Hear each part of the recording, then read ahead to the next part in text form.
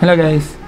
Welcome back again to my channel. And for today's video, ay isiset natin ng ating multi-leader style para sa ating pagsiset ng AutoCAD. And para mag-start is magkakaroon tayo ng quick introduction. Ano nga ba ito multi-leader? At kung paano ito nagagamit sa isang tunay na buhay. So, para mag-start, i-create tayo ng ating bagong drawing. Control U, or pwede rin dito sa taas. And then, open. Uh, I mean, create pala tayo ng new. And then, metric. And then, kapag meron na tayong bagong drawing, guys, is isiset natin yung ating multi-leader style. Pero para magkaroon kayo ng ideya kung, pa, kung para saan ginagamit yon halimbawa, kapag nagbukas ako ng tool palettes at nag-insert ako ng isang vehicles, gusto natin makita kung ano yung mga parts na ito. Madalas, makikita nyo ito dun sa mga, uh, minsan kapag sa mga machinery or mga parts ng isang motorcycle or ng kahit anuman, ay ginagamit ang multi-leader style guys para may pakita kung ano yung gusto mong ipin i-pinpoint sa isang drawing. Since i-scale ko muna to ng 0.001 at ito guys yung icon para sa ating multi-leader. Kapag clinic ko to sa ating dito sa baba, pwede ko tong lagyan ng word na wheels. Ibig sabihin, ang itinuturo niya ay ang, ay ang gulong. Kapag nagdagdag pa ako, pwede kong ilagay dito na mugs. So, ganito ginagamit guys yung multi-leader. Ginagamit din ito guys sa construction, lalo na kapag i-pinpoint mo rin yung mga halim, for example, yung mga bakal na gagamitin mo. Or kung ano man yung finished product ng isang part ng bahay na gusto mo. So, ganito ginagamit guys yung multi-leader. Ngayon, sa kanyang default, ay gumagamit siya ng isang 1 unit uh, or yung multi-leader guys, ang default niya is naka 1 unit siya. Ibig sabihin, kung gagamit ako ng millimeters, is kailangan kong i-scale yung gawa ko ng 1,000 para maging accurate siya. Nabawa, inilagay ko dito windshield. Windshield. Okay? So, wala pa tayong, so, ganito ginagamit yung multi-leader style guys, or multi-leader. Ngayon guys, for example, zoom out ako. At kikreate ako ng naka-unit 4 mm. So, halimbawa, gagawa ko ng box na naka 1,000 by 1,000. Ibig sabihin, ang box ko na ito is naka 1,000 mm siya. Ngayon, kapag nag-create ako ng multi-leader style, ah, multi-leader, at nag-click ako kahit saan, pwede ako maglagay dito ng box. Pero, pansinin nyo guys, no, sobrang liit. Sobrang liit niya. Box. Sobrang liit. Bakit siya sobrang liit guys? Kasi nga, yung default setting ng AutoCAD is naka 1 unit. Since ang gagamitin natin ay millimeters or millimeter unit, kailangan nating i-scale yung ating multi-leader sa 1000 para nababasa siya. So, paano gawin yon? Makikita natin yon dito sa ating annotation. And then, pupunta tayo dito sa icon na ito, multi-leader style. Okay, ito na yung ating multi-leader style manager. So, dito tayo gagawa ng ating settings. Pwede rin naman, kung, ayan, pwede rin naman guys, na gagamit tayo ng command. Halimbawa, ang ilalagay natin is mleader style. Ayan, so parehas lang siya. Depende sa inyo kung saan na kayo mas comfort o komportable. So, para mag-start guys, X ko lang ulit ito. Babalik tayo sa annotation. At ito na yung ating multi-leader. So, para mag-start, create tayo ng new. Kagaya ng sabi ko sa pagsiset ng dimension, dalawang way din yung paraan natin kung paano tayo naglalagay ng, ng leader sa ating drawing. Either sa either sa model or sa layout. So, since gagamit lang tayo ng reference para sa ating model is gagamit lang tayo muna ng isang scale na 1 is to 100 para dun sa ating critical. So, para mag-start, ang new style natin is model 100 and then press continue okay so ito yung lalabas guys once naman nakapag-rate na kayo ng bago so dito tayo mag-start guys sa leader format. Ang type niya is straight. Ang color niya is red. Pero mas prefer ko kung kung by layer. Or, or normally kasi by layer yung nilalagay nila. Pero ako, lagi kong nilalagay ito as red. Since ang nasa utak ko, kapag gagamit ako ng multi-leader na or ng leader is gagamit lang ako ng pen assignment na 0.01 para sa drawing na ito. So, i-explain ko rin yan guys once na nakapag nakapag-set na tayo ng ating pen assignment. Para sa ating line type is by layer and line weight niya is by layer. So, yung color nito guys is by layer na rin. Para sa symbol guys is depende na sa inyo ito. Pero ipapakita ko lang yung mga typical na nakikita ko or na experience ko na mga ginagamit ng ibang coworkers na na na nakasalamuha ko. Meron dito guys na close field. Yung iba gumagamit na itong dot. Yung iba gumagamit din na itong oblique. Yung iba gumagamit din ito ng dot small. At yung iba gumagamit na itong integral. So ito yung mga ilan sa mga typical na ginagamit. So depende ito guys. No? Kung mag-isa ka lang is okay lang. Pero halimbawa nasa company ka is medyo kailangan mo mag-adjust kung ano yung ginagamit nila. Okay? So So since tapos tayo dito, ang gagamitin ko guys is yung typical na close field. Kasi solid talaga yung dulo na ito eh. Talagang naka-pinpoint siya kung saan yung gusto mo. Para dun sa ating size, gagamit tayo ng 170. At para sa brake size niya is 130. Para sa leader structure natin guys, ito medyo crucial to guys no. Medyo crucial talaga to. Uh, maximum leader points natin is 3. First, lalagyan natin siya ng angle guys for aesthetic reason kailangan kasi guys, hindi sabog-sabog yung ating uh, leader kapag gumagawa tayo ng drawing. So, para sa first angle natin is 60. Pwede rin tong 45. And then for the second angle natin is 0 degrees. Para dun sa ating set landing space is gagamit tayo ng 40. At dito na tayo ngayon sa ating content. Para dun sa ating content, ang text style na gagamitin natin is wala pa, wala pang naka wala pang nakaset. At gagawa tayo ng bago. So once na para magkaroon tayo ng bagong text style is kikreate natin to. Pipindutin natin to. And then create new. Okay? So pag nakapindot na natin tong new ang unang text style na gagamitin natin is Roman S okay so pipindutin natin yung Roman S pupunta tayo doon kay font name at hahanapin natin si Roman S. P ang shortcut niya is pwede natin pindutin yung R, letter R, para mahanap natin kung nasan si Roman S. Nakita ko na siya guys, ito siya, Roman S. And then, kikreate pa tayo ng new. Yes. Which is Swiss. Okay. So, pagdating kay Swiss, makikita nyo yung font name niya is Roman S dahil yun yung last na minodify natin. So, kapag nandito na tayo kay Swiss, hahanap, pupunta kay font name at pipindutin natin yung letter S para mapunta sa Swiss. Hahanapin natin si Swiss 721BT. And then set current. Yes. Punta tayo, pindutin natin si Roman S at ito yung gagawin natin set current guys. Kung hindi nyo pa napapanood yung aking uh, ginawa na set ng text, sinabi ko doon na para sa lahat ng mga notes na gagamitin ko, is gagamit ako ng Roman S. At para naman doon sa mga title is Swiss. So, set current natin to at pipindot natin yung close. Okay? So, para dun sa text angle, wala tayong babaguhin. Text color guys is yellow. Yellow guys dahil gagamit ako ng 0.2. Once na na-upload ko yung uh, line weight na gagamitin ko is maintindihan nyo din siya guys. No? So, yellow. And text height natin is 200. 200 guys dahil pagdating sa layout, ang gagamitin nating final output is 2 millimeters yun yung actual size na gagamitin natin. Pero since nasa model tayo, gagamitin natin yung size is 200. Okay, para dun sa horizontal attachment, ang right attachment niya guys is hindi underline top line, kundi middle of text. Landing gap is 100. And then press OK. So, once na meron na tayo nyan guys, isi-set current natin siya. And then close. Okay. So, paano siya nagagamit sa buhay guys?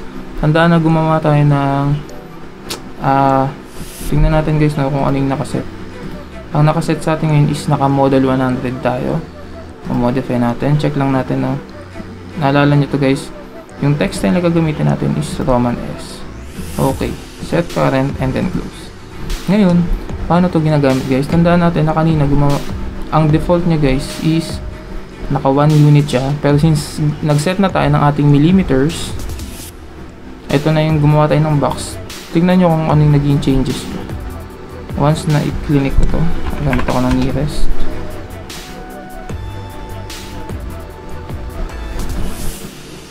Ayan. Ayan siya guys. Box of 1,000. Ayan. So, nakascale na siya guys. Na. Nakascale na siya ng para sa model natin. Nakascale na siya ng 1 is to 100. So, pag trinin ko to, sure ako na ang height nito is 2 millimeters. So, paano to nagagamit guys, no? Dahil since naka-millimeters ka, ah, so naka-millimeters tayo, kailangan lang natin tong scale. Tandaan guys na hindi to tutorial kung paano ginagamit yung scale command. Pero kapag in-scale ko to guys ng 1,000, ganito na siya kalaki. Ito yung naging default settings niya. At once na gumamit ako ng leader, ito pipindutin niya to guys. Tingnan niyo yung magiging changes niya guys.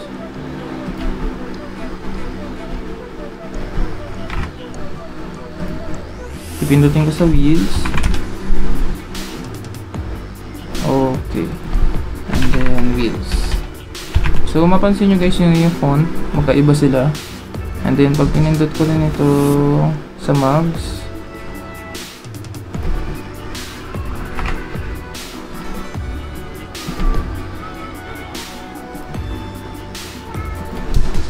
mags. Ayan siya guys no. So medyo mas maganda siya tingnan. Okay, so mas mas uniform yung angle na ginagamit natin kumpara dito na parang watak-watak. So isa ito sa guys sa mga pagsiset. So para naman dun sa windshield. Pindutin natin ulit ito. Tutok natin sa windshield. Tingnan natin kung ano magiging changes. Windshield. Ayan. So, mas maganda na siya tingnan guys na kung i-compare natin dun sa dati na default settings niya. Okay. So, hindi pa tayo natatapos guys. No? So, tapos na tayo mag-set pa na dun sa ating model. Ang isa-set naman natin ay yung para sa ating layout. Okay. Para, so, para mag-continue is punta tayo dito sa annotation. Punta tayo dito sa multi-leader style. Meron na tayong 100 guys. No? Pero, dito tayo and then magki-create tayo ng na yun dahil hindi tayo pwede, ang gagamitin nating style name na is layout. Layout. Yan, yan lang, layout guys. Or pwede nyong lagyan to ng initials nyo halimbawa TSH or kung ano man yung initials nyo TSH layout. Para malaman nila na ito yung settings na ginagamit mo. So press continue. Then para sa ating leader format is same pa rin. Ngayon guys, magkakaroon na sila ng changes dahil ang gagamitin na nating unit is nakapang millimeters sa layout. So, ang gagamitin na natin dito guys is 0.17 dito naman is 0.13 okay. Then para sa leader structure is same pa rin. Ang landing space niya is 0.4 at para dun sa content niya is ang text height niya is gagamitin natin is 2 okay so landing gap niya is 1 balik tayo sa leader format guys no? Ang gagamitin natin dito is 1.7 ang break size niya is 1.3 para dun sa leader structure is 0.4 okay tama to.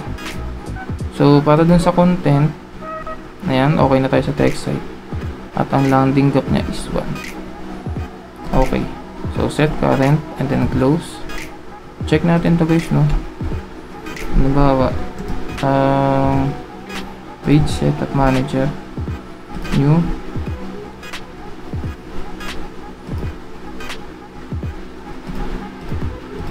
Okay. So gagamit tayo ng A4 okay. Set current close. Ngayon, pag pumasok ako dito, ito guys, hindi tutorial ah, kung paano ginagamit yung pagpiprint. So, set natin to ng 1 is to 100. Ayan. Check lang natin to guys. At pipindutin lang natin to. Yung ating leader. Once na pinindot ko uli siya. Ayan. Napansin nyo guys, no? Windshield. Ayan. So, napansin nyo guys, naka-scale na yung ating layout para sa 1 is to 100. So, saan nakikita yon Pag in-escape natin to guys at pinindot natin to, makikita nyo siya dito. Pag in-adjust natin yung scale niya na 1 is to 100 is magiging same size na sila. So, nakaset na yung ating header style para sa ating layout. Paano nagagamit yun guys? Pag binago ko kasi ito guys ng 1 is to 50, o mas malaki siya ng dalawang beses. Didelete ko lang ito. At once na gumamit ako ng leader style na guys, is, ayan, makikita nyo na mas maliit siya. Diba? So, nakita nyo na mas maliit siya. Bakit siya guys? Dahil itong windshield na ito, nasa model ito guys, at nakascale siya ng 1 is to 100. Ngayon, since nagbago ng scaling, ng 1 is to 50, mas lumoble siya ng laki. Pero, yung ating uh, layout na na leader is nakaset siya ng 1 is to 100 ng naka 2 mm. Ibig sabihin guys, kapag sinukat ito sa actual, magiging 4 mm ito. At ito naman ay magiging 2 mm. So, ano ang mas prefer ko? Mas prefer ko kasi guys, kapag nasa layout ka nag-leader, gawa na mas uniform siya. So, paano nangyayari yun? Halimbawa guys na, babalik ako sa model. Kapag dinilit ko to lahat guys, kapag dinilit ko siya, at bumalik ako sa layout, pansinin nyo ito guys. Kunyari, i-click ko itong leader. Papunta sa itong gulong. Sasabihin ko na ito ay wheel. Wheels. At ito naman ay mugs. Mugs or or rim or mugs. Okay.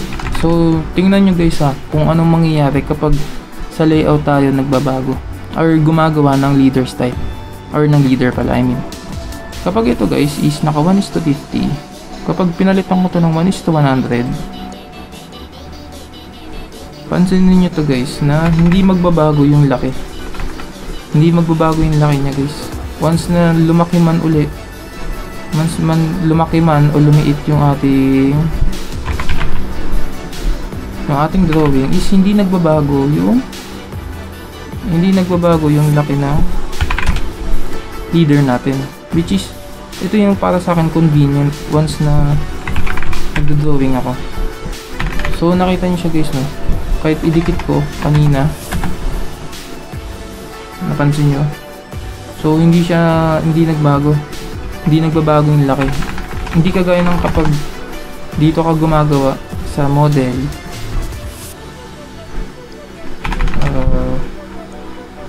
siset lang muna natin yung ating model 100 set current levels. Kapag nag leader tayo guys ng wheels or dito natin ilalagay.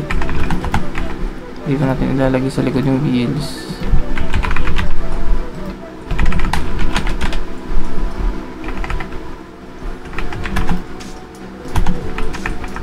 ayan so so mapapansin natin guys no? Didelete ko lang muna ito. Ayan. So ito guys hindi natin siya nakiklik. Gawa na nasa model nga siya. Pero tingnan nyo guys no? Kapag nagbago ako ng yun rin, nag nagbago ako ng skill nagbabago rin yung laki ng ating text. So may tendency na kapag print natin siya mas malaki na siya. Hindi kagaya ng kapag kapag uh, hindi kagaya ng kapag ikaw ay naka layout style kapag gumawa ka ng kapag gumawa ka ng leader is magiging uniform siya. So, tingnan natin. Ibabalik natin siya sa 1 is to 100.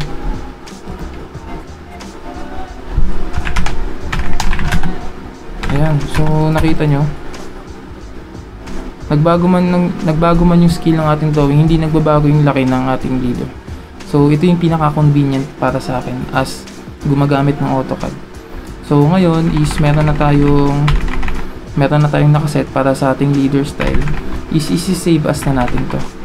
Lalabas lang muna tayo sa ating model, pindutin natin yung model, i-delete natin to lahat, at isi-save as natin. Save as. Which is, isi-save ko na to kung saan nyo sinisave mag-set kayo ng isang folder kung saan nyo sinave yung mga nakarang drawing nyo. So, meron na tayong settings. Multi-leader style. And then, 2010.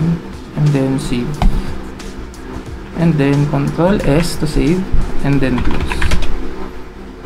Okay. So, tapos na tayo. So, ganun ginagamit guys yung ating so, ganun tayo nagsiset ng ating multi-leader. And kagaya ng sabi ko sa inyo, once na matapos natin yung settings natin, or yung series natin kung paano sineset yung AutoCAD is pagsasama-samahin natin sila sa isang CAD file or sa isang template para every time na gagawa tayo ng drawing is uh, yun na lang yung lagi natin i-insert. Balikan ko lang guys no, gag-create uli ako ng bago. Okay. Pag, pag may create ako ng bago guys, at pipindutin ko tong annotation, at dun sa multi-leader guys pansinin nyo guys na kapag nag-create ako ng bago kunwari model 100 ulit. Model 100 continue. And then makikita nyo guys dito na wala pang nakalagay na na text style. So ang ginawa natin kanina is pinindot natin ito at nag-create tayo ng bago na Roman S pero alam nyo ba guys na may mas mabilis pang paraan doon which is i-insert lang natin yung ginawa natin nakaraan sa ating video tungkol dun sa ating text. Paano ginagawa yon? I-insert lang natin, command tayo ng insert, enter, and then ibabrowse natin at pupunta kayo dun sa folder kung saan nyo sinave yung ating text style. Kagaya na ito, may text style na tayo. Kung hindi nyo pa napapanood yung guys, is panoorin nyo kung paano ako nag-set. So, kapag in-insert ko ito guys, pinindot ko to at in-open ko siya. Okay. At i-click natin siya. Okay. So, meron na tayong textile. Paano natin ma-check yun? Babalik tayo dito sa ating annotation. Sa ating multi-leader. At kapag nag-create tayo ng new, naglagay tayo ng model 100, continue, pupunta tayo dun sa content. Pag tinignan nyo to guys, textile, nakita nyo, may naka-ready na siya. May naka-ready na siyang text. So, hindi ka na ulit mag-create So imagine kung ilang seconds yung naba, yung natitipid nyo or minutes sa pagsiset pa lang ng card ay ng text. Okay? So applicable din to guys dun sa dimension. Okay, pag nag-create ako ng new, continue, pag tinignan nyo yung text, meron na rin naka-ready na mga text style. Okay? So, ganun ginagamit guys. So, yun yung advantage kapag nagsiset tayo ng card guys at hindi lang tayo basta gawa ng gawa. So, na-imagine nyo kung mag-create ka ng bago. Ilang minutes yung matitipid mo kapag nagsiset ka ng AutoCAD. So, so keep on watching lang guys at sana makatulong ito ng malaki sa inyo.